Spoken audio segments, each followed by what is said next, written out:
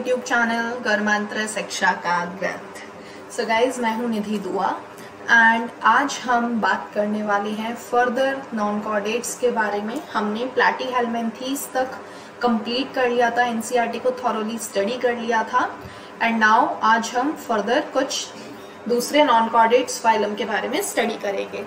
सबसे पहले आपके पास है एसके हेलमेंथीज एसके हेलमेंथीज की अगर आप बात करते हो तो एस के हेलमेंथीज की जो बॉडी शेप होती है, वो सर्कुलर होती है। याद रखना सर्कुलर शेप होती है, इसीलिए इन्हें राउंड वॉर्म भी कहा जाता है। हैबिट की बात करते हैं, इनकी हैबिटाट की बात करते हैं तो फ्री लिविंग है अक्वाटिक है टेरिस्टियल पे भी पाए जाते हैं as well as parasitic form में भी मौजूद हैं in plants as well as animals ठीक है? अब जनरल कैरेक्टरिस्टिक्स की बात करते हैं तो round worms have organ system level of body organisation कैसा लेवल है? ऑर्गन सिस्टम लेवल ठीक है? सिमेट्री बायोलिट्रियल है ट्रिप्लोप्लास्टिक है सूडोसिलोमेट है and alimentary canal is complete alimentary canal कैसी है? कंप्लीट है. ठीक है? Excretory tube removes body waste from the body cavity through excretory pore यहाँ पे एग्जैक्टली एक्सक्रीटरी ऑर्गन नहीं है किडनीज नहीं है, लेकिन यहाँ पे एक सिमिलर टू किडनी एक ऑर्गन प्रेजेंट है, ठीक है? सेक्सेस जो है, वो डायशियस होते हैं मेल और फीमेल डिस्टिंक्ट है। फीमेल और मेल में अगर आपको डिफ्रेंसिएशन करना है तो आप क्या कर सकते हो? कैसे पता चलेगा आपको कि ये फीमेल एसके हेलमेंथीज है, ये मेल एसके हेलमेंथीज है? तो फीमेल जो होंगी, वो लॉन्गर होंगी। फीमेल जो होंगी कंपैरेटिवली लॉन्गर होंगी एज वेल एज जो फीमेल की टेल होगी, वो स्ट्रेट होगी। कैसी होगी? स्ट्रेट टेल ठीक है? और मेल की अगर बात करते हो तो कंपैरेटिवली फीमेल से ये शॉर्ट होगा। और इसकी जो टेल होगी, ये थोड़ी सी टिल्टेड होगी, या फिर आप बोल सकते हो थोड़ी सी घूमी हुई होगी। ठीक है? मुड़ी हुई होगी स्ट्रेट टेल नहीं होगी। ठीक है? तो ये बात हो गई मेल की। ये आपका मेल है और ये आपकी फीमेल ओके अब अगर हम आगे बात करते हैं तो फर्टिलाइजेशन इंटरनल है डेवलपमेंट डायरेक्ट भी हो सकता है और इनडायरेक्ट भी हो सकता है। मतलब लावल स्टेज प्रेजेंट हो सकती है। एग्ज़ाम्पल की बात करते हो तो एग्ज़ाम्पल है एस्कैरिस जिसे आप राउंड वर्म के नाम से जानते हो। वचिलेरिया जो कि फ्लेरियल वर्म है। एंड एनसाइक्लोस्टोमा जो कि हुक वर्म है। ठीक है? Moving further to the next phylum we have Annelida Annelida की अगर आप बात करते हो तो एनालीडा वर्ड जो है उसका मतलब अगर आप देखते हो तो यहाँ पे ऐसे और, ऐसे ऑर्गेनिज्म प्रेजेंट होंगे जिनके अंदर सेगमेंट्स होंगी या फिर मेटामर्स प्रेजेंट होंगे। ठीक है? They may be aquatic, marine and freshwater or terrestrial, free living, sometimes parasitic. General characteristics की बात करते हैं। ऑर्गन सिस्टम लेवल है बायोलेटरल सिमेट्री है ट्रिप्लोब्लास्टिक है मेटामेरिकली सेगमेंटेड है। ये देखो आपको इनकी बॉडी पे सेगमेंट्स नज़र आ रहे हैं छोटे छोटे इस तरीके से सेगमेंट्स हैं ठीक है? Hence the phylum name Annelida Latin annulus means little ring पता होना चाहिए रिंग लाइक स्ट्रक्चर प्रेजेंट होता है एनालिडा के केस में। They possess longitudinal and circular muscle which helps in locomotion locomotion में लॉन्गिट्यूडनल और सर्कुलर मसल्स हेल्प करते हैं। ठीक है? नेरिस एक एग्ज़ाम्पल है एनालिडा का। ठीक है? नेरिस जो है, वो लिटरल अपेंडेजेस पजेस करता है, जिसे आप बोलते हो पैरापोडिया ठीक है? जो कि हेल्प करते हैं लोकोमोशन में या फिर स्विमिंग में।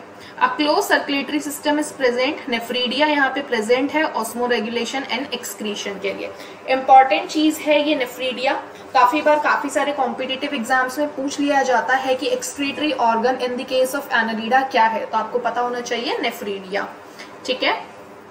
न्यूरल सिस्टम की अगर हम बात करते हैं तो यहाँ पे पेयर्ड गैंग्लिया है, जो कि कनेक्टेड रहती हैं with the help of double ventral nerve cord ये भी बहुत ज़्यादा इंपॉर्टेंट है। नेरिस की जो हमने बात करी कि उनके पास पैरापोडिया प्रेजेंट है, एक एक्वेटिक फॉर्म है ये जो कि डायोशियस है। ठीक है? लेकिन जो अर्थवॉर्म और लीचेस हैं, वो मोनोशियस इन नेचर है। बहुत इंपॉर्टेंट बात है ये। नेरीज आपकी डायोशियस है एंड अर्थवॉर्म और लीचेस मोनोशियस है। ठीक है? एग्ज़ाम्पल नेरीज फेरिटीमा फेरिटीमा को क्या बोलते हैं? अर्थवॉर्म एंड हिरुडीनिया जिसे आप ब्लड सकिंग लीच बोलते हो, ठीक है? एग्ज़ाम्पल ये जो डायग्राम आपको गिवन है फ़र्स्ट वाला एग्ज़ाम्पल आपको नेरीज का दिया हुआ है सेकेंड वाला हिरुडीनिया जो कि आपकी ब्लड सकिंग लीच है। नेक्स्ट फाइलम की अगर बात करते हैं तो we have Arthropoda Arthropoda largest phylum है। याद रखना आर्थ्रोपोडा लार्जेस्ट फाइलम है। Of animals including insects Arthropoda के अंदर क्या इंक्लूड करते हो? आर्थ्रोपोडा के अंदर आपके जनरली जितने भी इंसेक्ट्स आप देखते हो, वो सभी इंसेक्ट्स यहाँ पे इंक्लूडेड हैं। और लार्जेस्ट फाइलम है। सबसे बड़ी बात over two third of the name species on the earth are arthropods बहुत इंपॉर्टेंट लाइन है ये। फिर जनरल कैरेक्टरिस्टिक्स की बात करते हैं। ऑर्गन सिस्टम लेवल प्रेजेंट है। बाइलेटरल सिमेट्री है। ट्रिप्लोब्लास्टिक है। सीलोमेट्स एनिमल्स हैं as well as segmentation present है। ठीक है?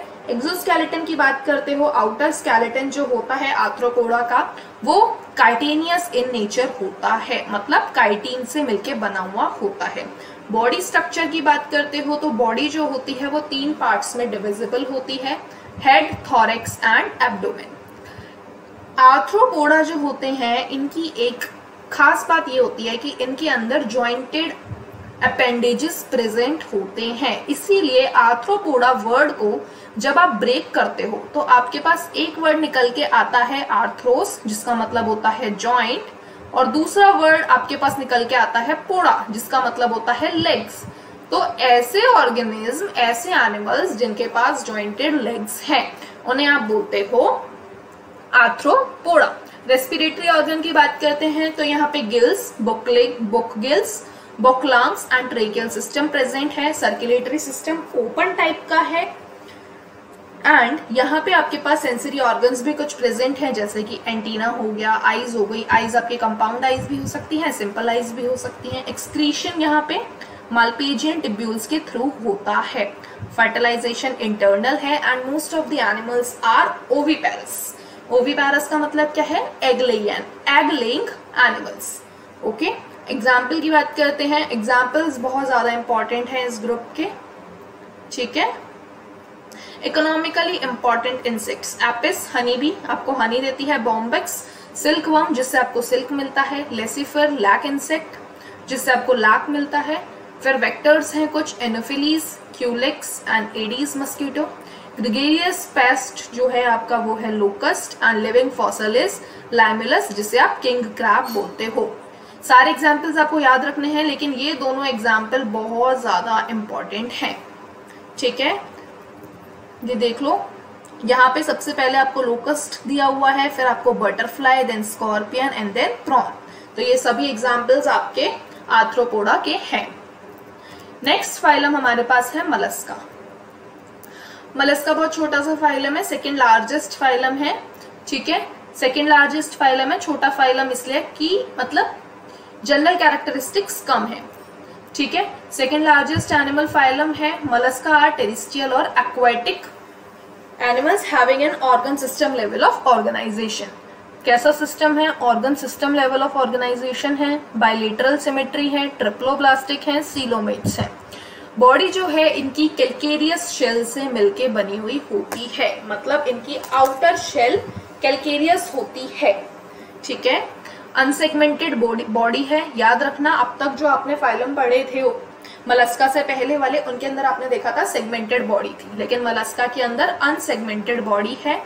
बॉडी को अगर आप डिवाइड करते हो तो तीन मेजर पार्ट्स हैं head muscular foot and visceral hump एक सॉफ्ट और स्पॉन्जी कैविटी प्रेजेंट होती है, एक सॉफ्ट और स्पॉन्जी लेयर प्रेजेंट होती है।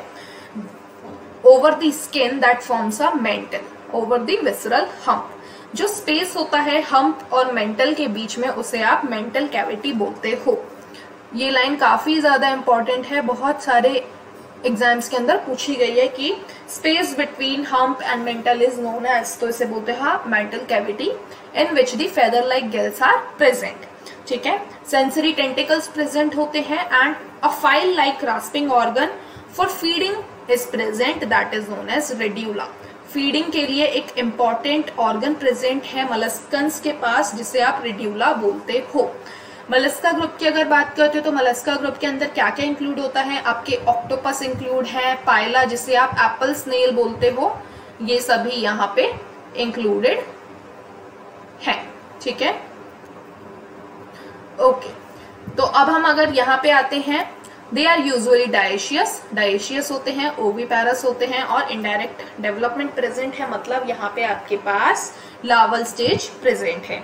एग्जाम्पल्स की बात करते हैं, पायला एप्पल स्नेक स्पिनेक्टिडा जिसे आप पर्ल ऑयस्टर बोलते हो Sepia cuttlefish Loligo squid octopus devil fish Aplysia sea hare and Dentalium जिसे टस्क शेल बोला जाता है एंड चिलप एंड चिप्ल्यूडा जिसे आप कर्टॉन बोलते हो।